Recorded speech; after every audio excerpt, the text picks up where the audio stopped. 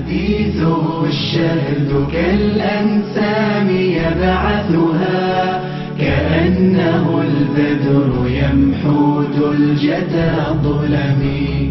كأنه النور في إشعاع بيرقه يهذب الروح يعليها متى القمم.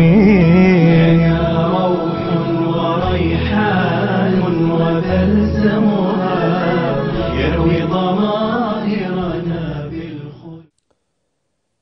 بسم الله الرحمن الرحيم. إن الحمد لله نحمده ونستعينه ونستغفره ونعوذ بالله من شرور أنفسنا ومن سيئات أعمالنا. من يهده الله فلا مضل له ومن يضلل فلا هادي له. وأشهد أن لا إله إلا الله وحده لا شريك له. وأشهد أن محمدا عبده ورسوله. اللهم صل وسلم وزد وبارك على النبي الحبيب محمد وعلى آله وصحبه وسلم تسليما كثيرا ثم أما بعد. فأهلا وسهلا بكم في هذه الحلقة الجديدة من هذا البرنامج المبارك الطيب. ونسأل الله تعالى أن يجعل هذه الدقائق في ميزان حسناتنا ثقلا وبركة وخيرا وغنيمة إن شاء الله. ونواصل ما كنا بصدده من حديث رسول الله صلى الله عليه وسلم وبيان أثره على الفرد لا سيما عندما نتكلم عن بعض الأمور العقائدية مثل الإيمان بالغيب. حيث تكلمت من قبل أن الغيب غيبان غيب نسبي أي يتفاوت الناس في معرفته. وغيب مطلق لا يعلمه إلا الله. ثم ذكرت بعد ذلك حديث عبد الله بن عمر رضي الله تعالى عنه أن النبي صلى الله عليه وسلم قال مفاتيح الغيب خمس لا يعلمها إلا الله. هذه المفاتيح ذكرها النبي صلى الله عليه وسلم لكي يعلمها الناس ولكي يتعلمها الناس.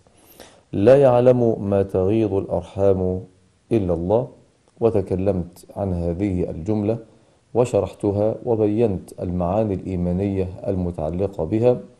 ثم قوله صلى الله عليه وسلم ولا يعلم ما في غد إلا الله ثم نثلث بهذه الجملة المباركة وهي قول النبي صلى الله عليه وسلم ولا يعلم متى يأتي المطر أحد إلا الله. المطر هو الغيث الماء الذي ينزل بأمر الله تعالى من السماء. العرب قديما كانوا يعظمون المطر بل أحيانا يسمون المطر باسم السماء لأنه نازل من السماء من فوق. يقول شاعرهم إذا نزل السماء بأرض قوم رعيناه وإن كانوا غضابا. إذا نزل السماء أي إذا نزل المطر بأرض قوم بأي أرض؟ رعيناه أي رعينا ما يخرج منه من العشب والنبت وإن كانوا غضابا. هذا في سياق الفخر.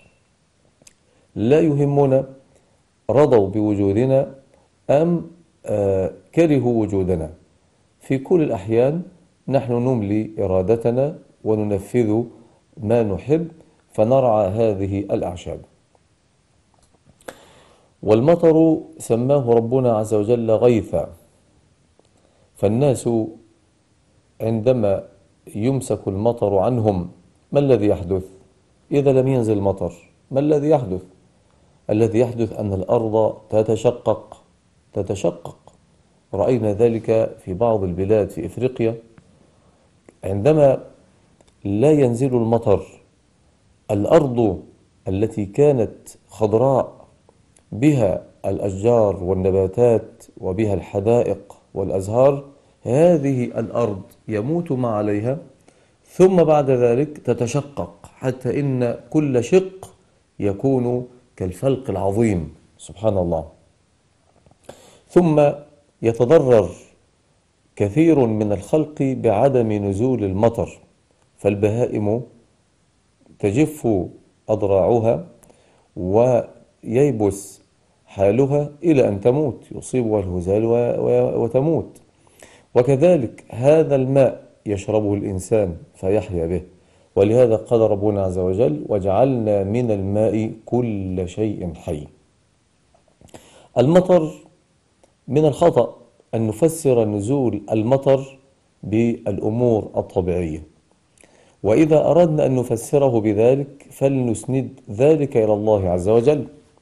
لا نقول بأن البخار يرتفع من سطح البحر ثم بعد ذلك يصعد إلى أعلى فيحدث هناك تكثيف ثم بعد ذلك ينزل المطر.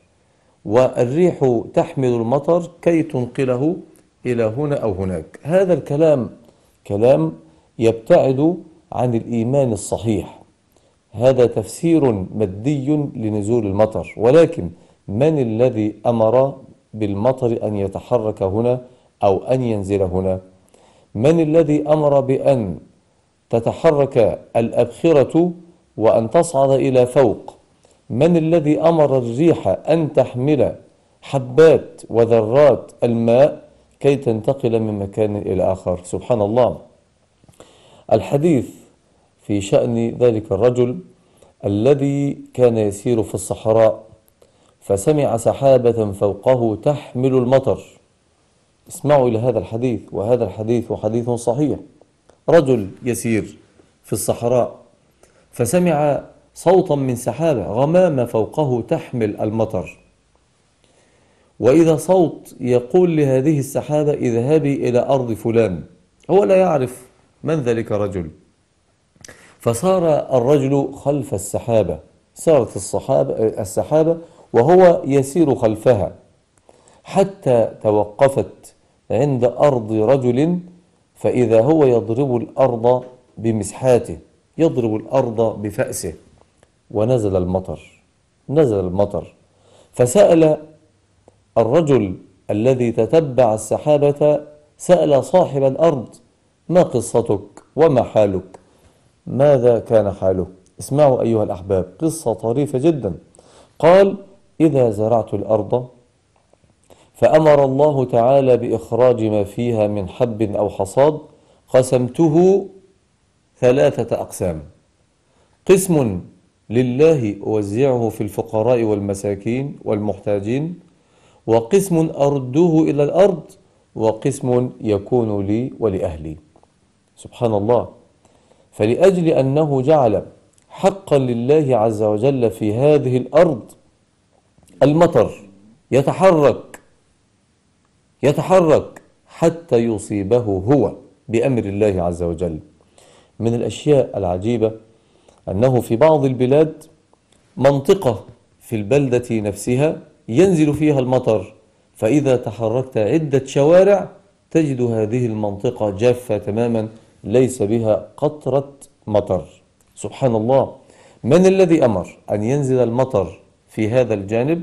ولا ينزل في هذا الجانب. يا ترى أهي حركة الريح؟ ولو كانت من الذي أمر الريح أن تتحرك. سبحان الملك. ولذلك الغيب منه مسألة المطر. نحن هل نعلم متى ينزل المطر؟ هل لو رأينا غمامة قلنا بأن هذه الغمامة دلالة على نزول المطر؟ نحن عندنا في مصر كم مرة نرى فيها مثل هذه الغمامات ونقول بأن المطر سينزل ولا ينزل المطر. يأتي بعد ذلك الصفر وكم مرة يكون قرص الشمس مستديرا والشمس تضرب جنبات الأرض وينزل المطر في وجود الشمس.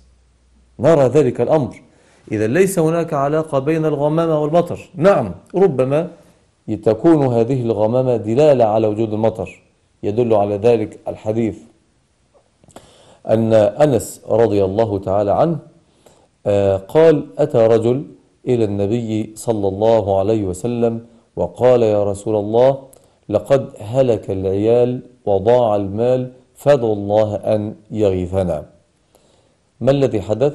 رفع النبي صلى الله عليه وسلم يده وسأل الله تعالى نزول المطر.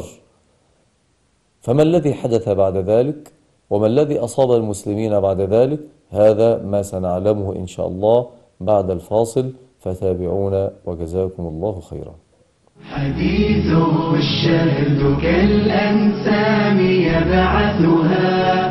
كأنه البدر يمحو الجدى ظلمي.